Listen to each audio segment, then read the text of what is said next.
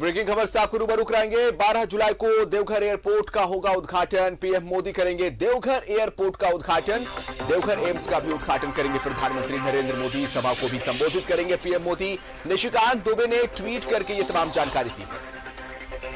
Deoghar airport का उद्घाटन प्रधानमंत्री नरेंद्र मोदी करने वाले हैं। देवघर एम्स का भी उद्घाटन पीएम नरेंद्र मोदी करने वाले हैं। सभा को भी संबोधित करेंगे PM Modi.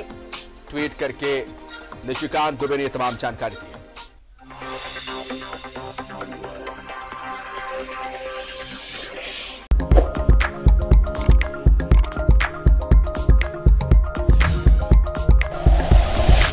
like and share videos, subscribe करें हमारा चैनल और प्रेस करें बेल आइकॉन न्यूज़ 11 भारत सच है तो दिखेगा।